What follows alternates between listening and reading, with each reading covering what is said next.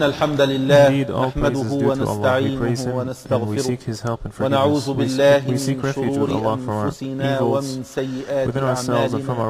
من يهده الله فلا مضل له ومن يضلل فلا هادي له. وأشهد أن لا إله إلا الله وحده لا شريك له.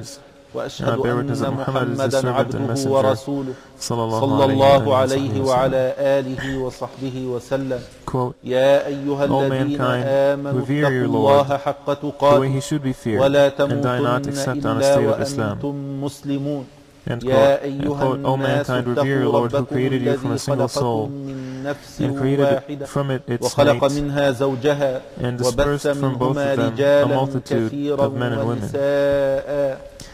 Be careful of your duty toward Allah through whom you claim your mutual rights and toward the wombs that bore you. Indeed, Allah has ever a watcher over you. End quote. quote o you who believe, guard your duty to Allah and say correct words. He will then rectify your deeds and forgive your sins. He who obeys Allah and His Messenger has certainly achieved a great victory. End quote. Verily, the most truthful of speech is the book of Allah and the best of guidance is the guidance of His Messenger Muhammad sallallahu alayhi wa sallam. وشر الأمور محدثاتها وكل محدثة بدعة وكل بدعة ضلالة وكل ضلالة في النار. وما قل وكفى خير مما كثر وإنما توعدون لآت وما أنتم أيها المسلمون قال الله سبحانه وتعالى في in كتابه His الكريم noble book, إن الله surely يأمر Allah بالعدل orders والإحسان justice and goodness and giving, for those who are related to you. الفحشاء and He forbids fahsha and munkar and baghi.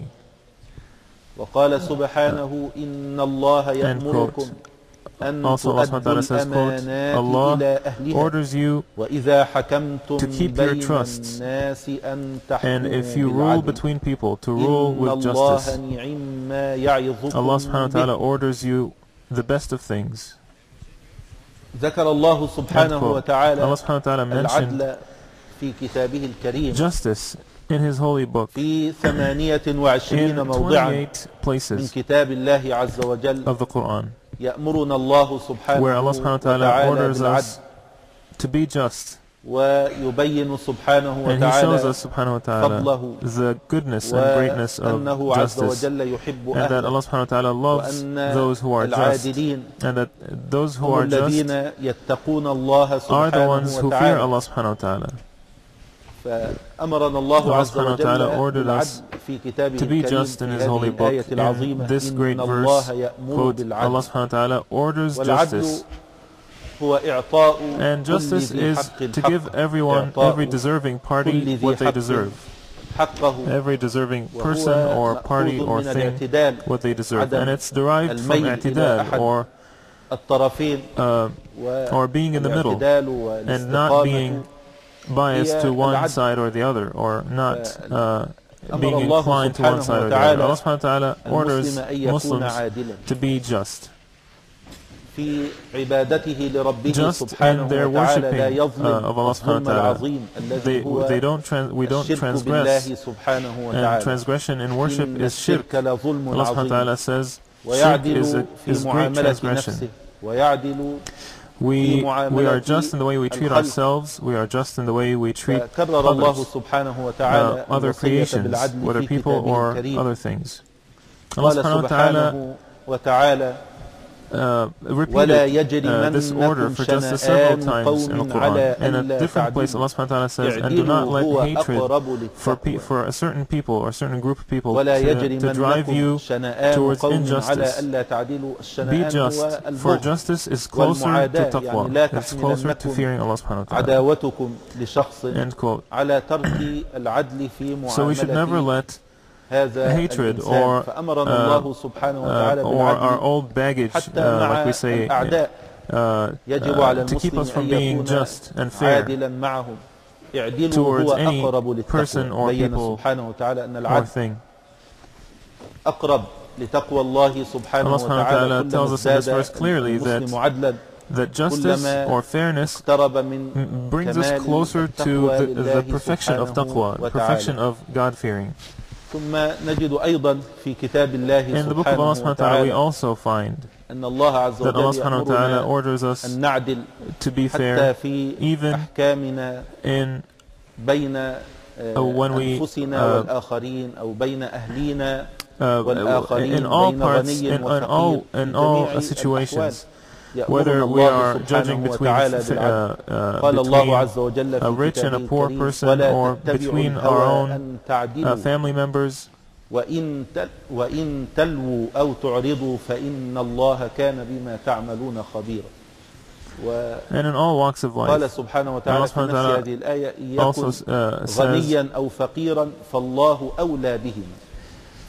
quote, الهوى أن whether تعدلوا. they, يعني me, الإنسان they meaning عليه those أن who are يعدل you, who you are judging between are حتى rich or على poor, Allah الوالدين subhanahu wa ta'ala والأقربين is more important حتى على than الوالدين uh, than their status to والأقربين fear. فيأمرنا الله سبحانه وتعالى بالقسط ويأمرنا بالعدل لو كان أحد طرفي الخصومة من Allah subhanahu wa ta'ala الوالدين also says أو clearly أحد طرفي in that الخصومة same من verse الأقربين that even, even if we are judging between a relative and someone who's not related, or a friend or someone who's not a friend, to be fair and just, and to not let our personal relationships, whether good or, or bad, uh, get in the way of justice and fairness. Allah subhanahu wa ta'ala also told us that hawa, or whimsical desires, things that we like, things that we are inclined to do or think or believe, ولا تتبعوا is الهوى what is أن what تعدلوا uh, is what can keep us وبين from سبحانه أن adl بعض or الناس justice. ربما إذا حكم في قضية We see that حاب some people غنيا لغناه when they أو when they حاب فقيراً rule or when they ju- when they لفقره. judge between people, they فنهانا may الله take the سبحانه side وتعالى عن ذلك of the لا rich تحاب person الغني because لغناه of their wealth, فتحكم or له they may بغير take the side of the of الحق the poor وتعطيه ما person ليس بحقه because they sympathize with poor ولا people تحاب generally. الفقير كذلك لفقره Both فتعطيه are ما obviously ليس wrong, بحقه. uh, يجب على المسلم أن يحكم بالعدل يكن غنيا أو فقيرا فالله أولى بهما. الله سبحانه وتعالى as هذا وهذا أن تحكم بالعدل. والله عز وجل يتولى عباده سبحانه وتعالى آه، بما يشاء.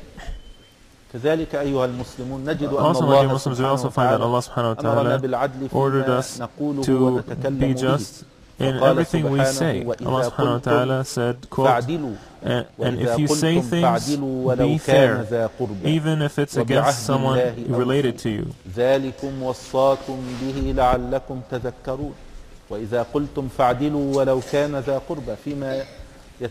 And, uh, and fulfill the oath you've taken with Allah subhanahu wa ta'ala.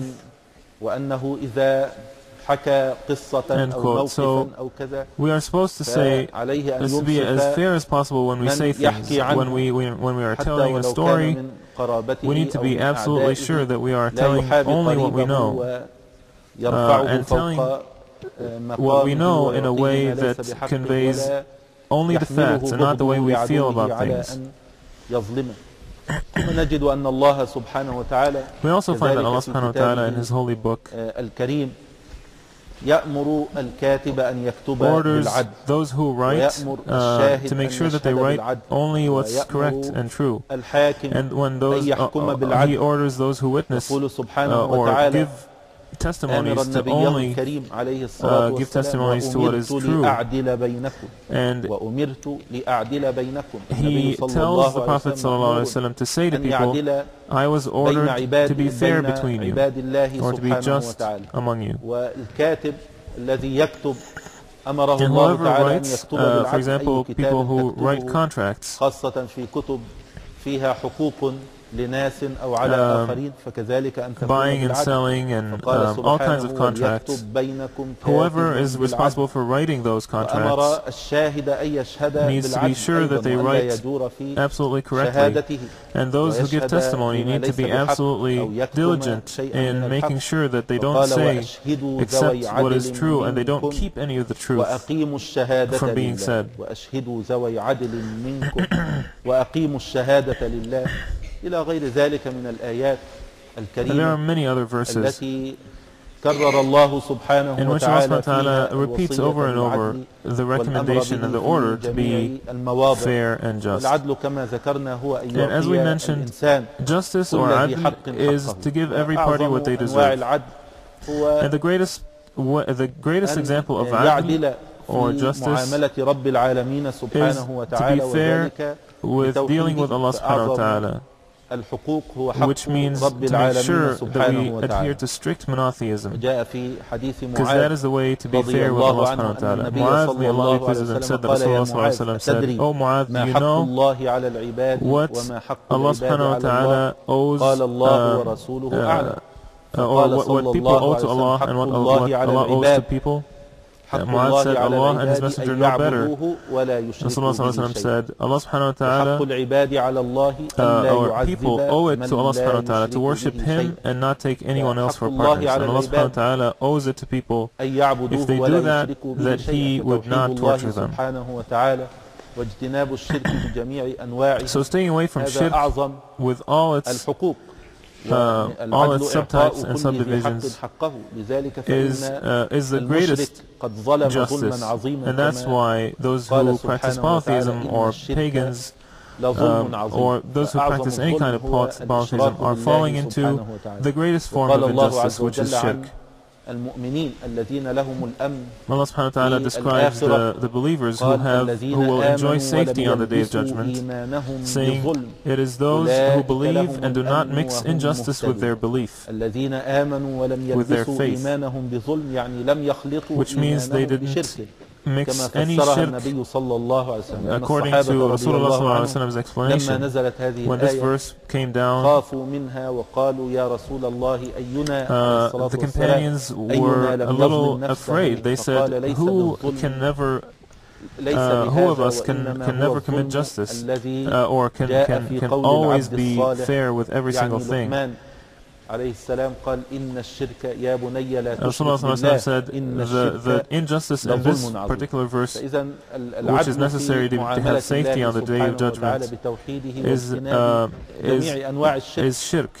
صغير الشرك So staying away from وكبير shirk الشرك. means purifying our ف- faith قد from يقول all بعض kinds of الناس shirk, whether نحن it's major مسلمون، shirk or ف- minor shirk. لماذا Some people may say, يأتي we are التحذير already من الشرك Muslims. ولماذا الخوف Why من are الشرك؟ we warned from أولا shirk? First of all, it's because Ibrahim alayhi salam, who is the leader of monotheists, he used to fear that his children may fall into shirk.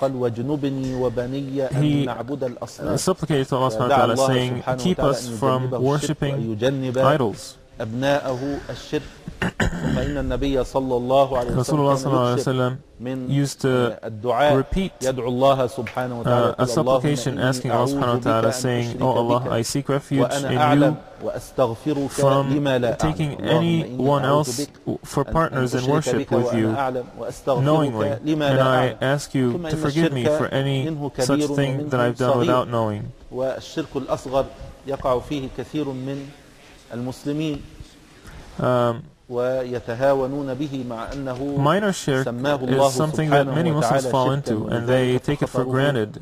عظيم But على nevertheless, it was named shirk, ومن and that's الشرك to, الأصغر that's to الرياء emphasize its أن يعمل danger. الإنسان One العمل example of that is riyah, الصالح or بغية مدح uh, الناس showing off, وبغية doing good things in order for الثناء people عليه من to الناس look and, uh, فهذا and to سماه give النبي praise. صلى الله عليه to you وسلم if you do الشرك something good. Rasulullah ﷺ named this shirk al-khafi or uh, occult or invisible shirk.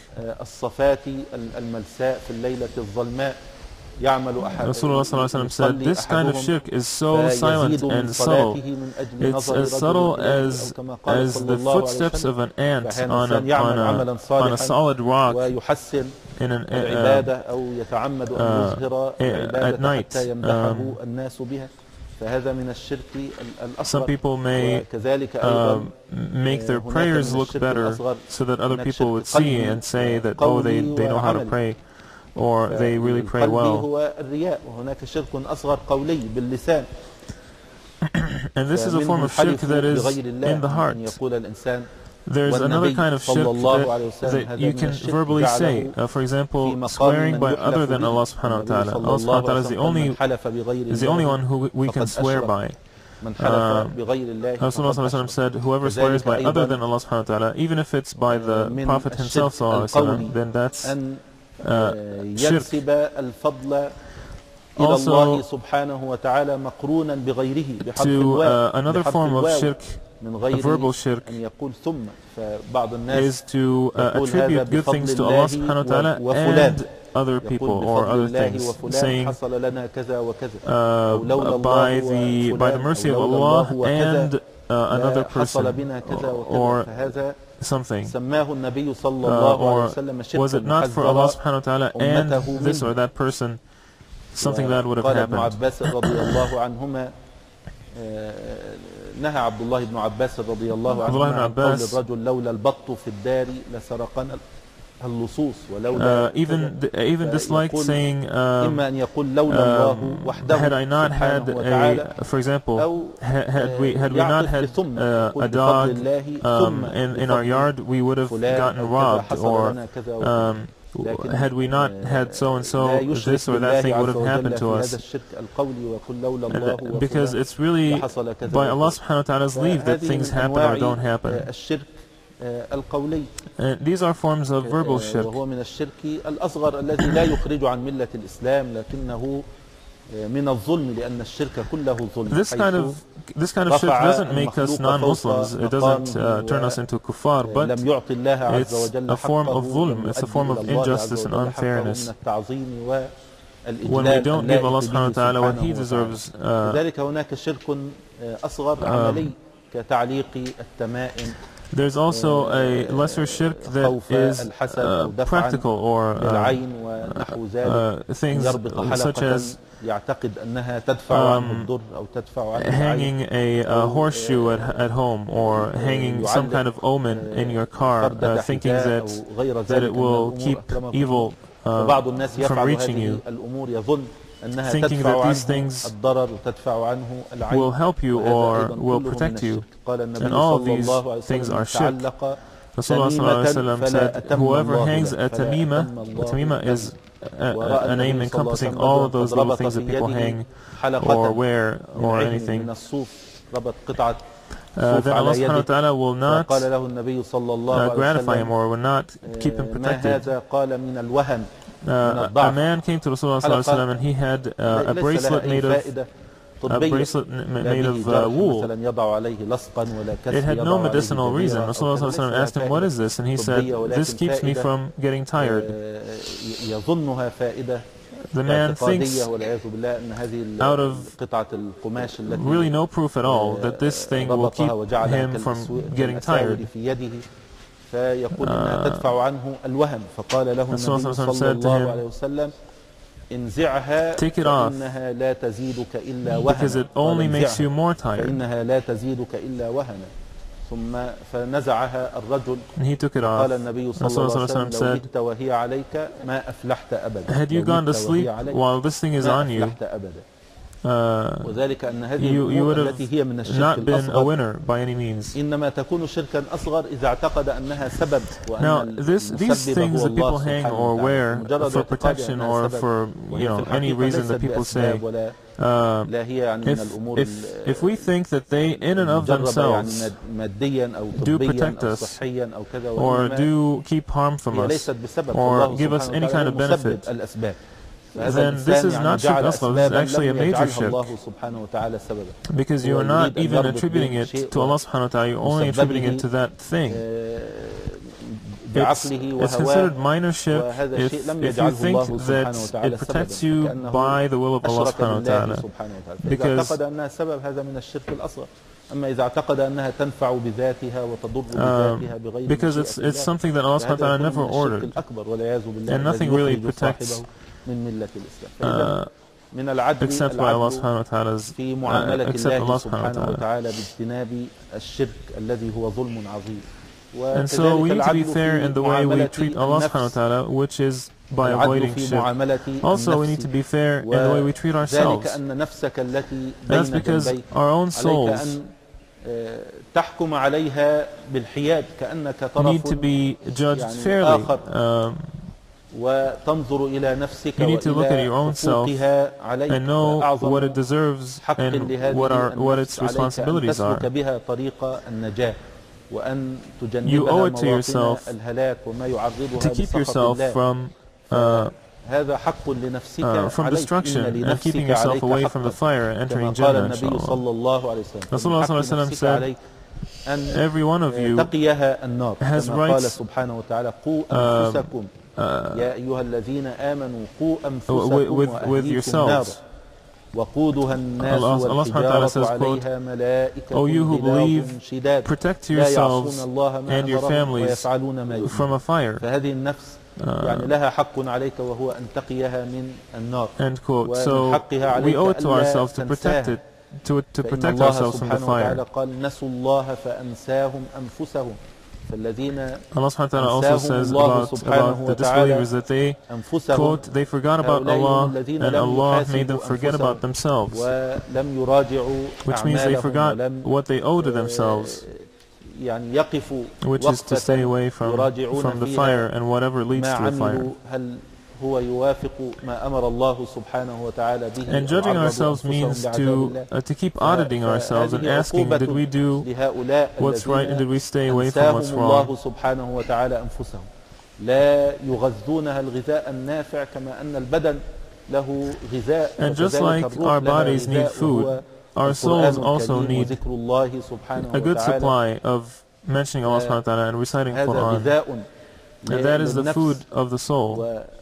ومن الناس من يترك Some people نفسه كما لو أن Leave إنسانا يرعى themselves or their souls بهيمة فلا يطعمها ولا يسقيها just, ولا just as يداويها if من uh, أمراضها you own an فيكون قد animal أهملها. and you don't feed فكذلك it or الإنسان keep it إذا أنساه from الله contracting سبحانه disease وتعالى or نفسه giving it فإنه medicine. لا يرقى so, بنفسه ولا when we ignore يزودها and بما neglect ينفعها عند ourselves, لقاء الله سبحانه وتعالى فهذا من الظلم that's when we don't ظلم uh, النفس كذلك keep track of its supply of, of, of good things. Another uh, subdivision of justice is to be fair with people to give them everyone what they deserve. And uh, صلى الله عليه uh, وسلم بذلك وقال عليه uh, الصلاة and to wish for والسلام people what you لا like for يؤمن yourself, أحدكم uh, for yourself, حتى and to يحب لأخيه um, ما and to يحب dislike لنفسه. for people نسأل what you الله dislike for سبحانه yourself. وتعالى أن ينفعنا وإياكم بما قلنا We ask Allah وسمعنا. subhanahu wa ta'ala to أقول benefit قولي us what we هذا heard and said. I say this and I ask Allah subhanahu wa ta'ala for forgiveness. الحمد لله رب All praises العالمين to Allah, the الصلاة Lord of the والسلام worlds. على نبينا محمد And وعلى peace and praise be آله sent upon His Messenger وصحبه Muhammad and أجمعين His household and أما بعد companions. إن الله سبحانه وتعالى Allah subhanahu wa أمرنا ta'ala بالعدل في كتابه ordered us to be الكريم fair in His holy book. وقال سبحانه said, إن سبحانه الله وتعالى, يأمر بالعدل Quote, Surely قال Allah orders سبحانه justice. وإذا قلتم فاعدلوا Uh, and He said, فأمرنا الله quote, عز وجل بالعدل And وهو if you say إعطاء things, make كل sure ذي you are حق fair. End حقه. quote. ونجد أن We all- النبي we find صلى that الله Rasulullah صلى الله عليه عليه وسلم وسلم كان أعظم الناس عدلا was the عليه الصلاة greatest والسلام In justice. فكان عدلا في حكمه He was على so أصحابه وفي حكمه Whenever على he issued any أعدائه ruling, وشهد له or whenever, بذلك whenever he العدو judged قبل between any two parties, آه، ال- ال- القريب and و- uh, even his لما enemies, قسم النبي صلى الله عليه witnessed, وسلم uh, to that. الغنائم في يوم حنين on the day of النبي Hunayn, صلى الله عليه وسلم uh, or قسم the, after the الغنائم battle of Hunayn, wh- في uh, uh, when the غزوة Muslims حنين won, Rasulullah وقسم SAW النبي was صلى الله distributing عليه وسلم بالطريقة العادلة التي فيها مصلحة uh, الإسلام was ومصلحة distributing the spoils of war, المسلمين and he was فربما distributing زاد it قوما وهو يعطيهم according to رجاء the أن- benefit of Muslims in general. آه، يكون ذلك سببا في تأليف قلوبهم على Sometimes he would الإسلام give certain سببا في people تأليف A little أقوامهم extra ف- in order to, قصد to gain their بذلك trust, for الخير عليه example, or الصلاة to والسلام. keep them ف- from uh, جاء turning رجل against Islam. أخبر النبي صلى الله عليه وسلم A man أنه came هو الذي سيخرج الخوارج بعد رسول الله ذلك صلى الله عليه وسلم. به ويسيرون على نهجه فأول من سن ال- ال- الخروج while he was distributing those spoils. And he was objecting to uh, Rasulullah's method of this of uh, distribution. He said, O oh Muhammad, be fair, because this uh, because, uh, because this distribution goes against Allah subhanahu wa ta'ala. Rasulullah إذا sallallahu alaihi لم wasallam became أعدل very angry and he خفت said, وخسرت إن "Who لم will be أكن fair أعدل. if I'm not fair? خفت وخسرت إن If لم I'm not أكن fair, أعدل. I would ثم be قال I would عليه be a الصلاة loser والسلام and ألا I would go to, I تأمنوني would be in the fire وأنا basically." أمين من في السماء ألا Do you not trust تأمنوني me وأنا when those in أمين heaven من في trust me? السماء أمنه الله سبحانه Allah subhanahu wa ta'ala وتعالى trusted فأمنه Rasulullah الله sallallahu alaihi wasallam to عز deliver وجل على رسالته his message. النبي صلى الله عليه وسلم بين أنه أعظم الناس عدلا. So لو لم يعدل وسلم النبي صلى الله عليه وسلم He's telling us that by the will of Allah subhanahu wa ta'ala, he was made to صلى be الله عليه وسلم. just and fair. وصف النبي صلى الله عليه وسلم لا يعدل بالخيبة والخسران. And he described those who are not fair as being uh, as being as being losers and uh, أن being astray. في آه، معاملته آه، لليهود. رغم ما كان بينه وبينهم وبين النبي uh, صلى الله عليه وسلم dealings with the Jews in آه، Medina. عداوة مع ذلك كان ينصفهم النبي آه، صلى الله عليه وسلم ويحكم فيهم بالعدل. صلى الله عليه وسلم. جاء رجل من آه، أحبار اليهود كان يريد أن يرى uh, uh, one Jewish uh, كان يريد أن يرى علامات النبي صلى الله عليه وسلم المذكورة. And he wanted to check the signs of prophethood um, that are mentioned in the Torah. He started watching Rasulullah and following him. And he found all those signs that are in the Torah except for one. And he wanted to test Rasulullah to make sure that he is really the prophet. Uh, and that, and, and that one description كلما was that the more ازداد you aggravate الجاهل him, جهلا في مخاطبة the calmer رسول الله he, صلى الله uh, عليه he وسلم gets. ازداد حلما فأراد أن يختبر So he هذه wanted to العلامة test وأن that one يستفز sign and to, and النبي to صلى aggravate الله and عليه provoke وسلم Rasulullah sallallahu alaihi wasallam as much as he could. إغضابه ب- بلي الحقائق وينظر كيف يعامله النبي صلى الله عليه وسلم اغتنم آه، وقتا كان النبي صلى الله عليه وسلم فيه إلى مال فعرض إقراض النبي uh, صلى الله عليه وسلم شيئا من المال ووعده النبي صلى الله عليه وسلم يوما آه، للسداد. promised him a day for giving the money back. آه، أخذ النبي صلى الله عليه وسلم المال uh, جاء took the money. بعده بأيام قلائل قبل حلول موعد السداد. before يعني the due date uh, came by a long time that Jewish man came back to Rasulullah and he said uh, very rudely he said O Muhammad give me my rights. because you uh, you, the, the, the tribe of Abdul Muttalib from Mecca. Uh, you have a habit of, of not paying at, on time. Although Rasulullah was, was not really late. Uh, next to Rasulullah was Umar, may Allah be pleased with him. Umar was, became really angry and he said, uh, uh let me kill this man. Rasulullah said to him, why don't you say something else? why don't you ask him To be nice and هذا asking and and يعني and to ask me uh, or to tell me to make sure that I give يعني back uh, what I owe. وتأمرني بحسن ال- القضاء. تأمره أن يحسن يعني طلب الحق وتأمرني أن أحسن قضاء هذا الحق وكذا ثم أمر النبي صلى الله عليه وسلم بلال صلى الله عليه وسلم يحضر له بلال المال الذي طلب وأعطاه uh, حقه وقال إن لصاحب الحق مقالا to bring him what he, what he or the, uh, the loan basically even though it's before its time Rasulullah then said people who uh, people who who have rights need بعض to be الشيء في forgiven even if المطالبة they بالحق. ask for their rights هذا a من little إنصافه too عليه uh, الصلاة a little too والسلام. strongly and the Jewish كذلك فإن man النبي صلى الله finally عليه he وسلم knew that this is أرسل عبد the الله last بن sign that he رواحة was looking for رضي and he الله became عنه Muslim إلى يهود خيبر وكان Rasulullah sallallahu النبي alaihi صلى wasallam الله عليه once وسلم لما sent فتح خيبر uh, Abdullah ibn اتفق Rawaha معهم على أن يعملوا في الأرض to the Jews of Khaybar. وأن يعطوا للنبي صلى الله When عليه Khaybar وسلم was نصف conquered, الثمار يرسلونها إلى النبي Uh, صلى الله عليه وسلم Rasulullah sallallahu alaihi wasallam had an يقسمها agreement بين between the المسلمين Jews of وفي Khaybar مصالح ال- الأمة uh, فيزرعون to, to allow them to ويعطون cultivate النصف their للنبي صلى الله عليه lands وسلم. فأرسل عبد الله بن رواحة and to give half ليخلص of the الثمار يعني of the- لينظر إليها وهي على الأشجار uh, and to give قبل half the الحصاد harvest to uh, كم يتوقع uh, to the Muslims to be distributed.